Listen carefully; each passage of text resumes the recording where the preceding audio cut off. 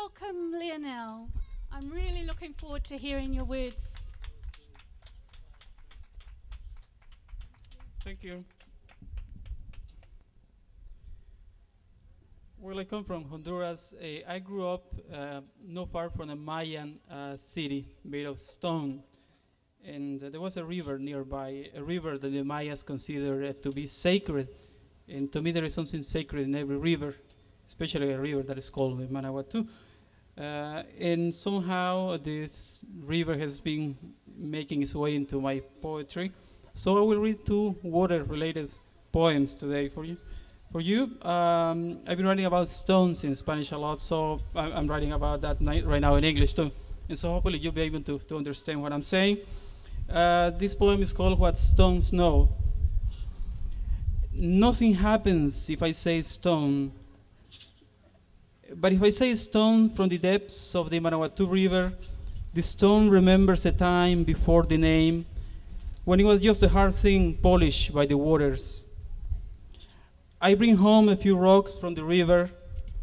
My son emerges from his universe of virtual warfare and picks up a pebble that might have been touched by Te Peeti Te Awe Awe during the Musket Wars. This pebble existed before the first Rangatira, before Cook, and before the immigrant who's coming through customs with new names for pebbles and rocks. We travel to remote places to hear the language spoken by rocks as ancient as the pebble no one notices by the side of the road. Only those rocks touched by a miracle or mere chance are safe from the anonymity of archaeological waste. Stones act in mysterious ways. The pebble that killed Goliath is now thrown by a boy at a military tank. A man about to be hung kicks a stone and for a brief moment is a child again. A woman is stoned to death by the Taliban, but what do stones know about Sharia law? Did God, time, or nature breathe death into those stones?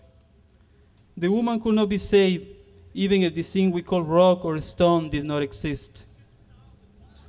Will the stone used to kill be as lethal if we call it by any other name?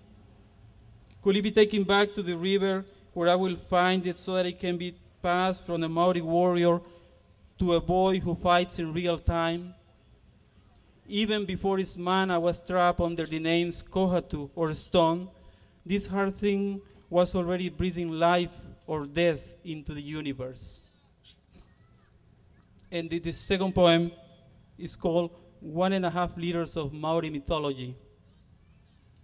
Like most folks, I get my one and a half liters of Maori mythology on a daily basis. It comes in the form of fresh rain from, that falls in the heart of the Kaimai Ranges. But before passing through my lips, the droplets permeate deep into ancient rock and through a natural filtration process lasting up to 50 years, push their way to the surface from the labyrinth of aquifers. The water emerges so pure it is crystal clear and appears in a sure blue. Then it is baptized as kiwi blue and bottled by Coca-Cola Amatil Limited.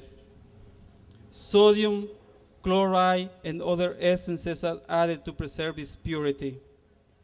And to make sure it is consumed while still fresh, each bottle comes with an expiration date. Yes, it seems water, even if it is ancient, does expire. Thank you.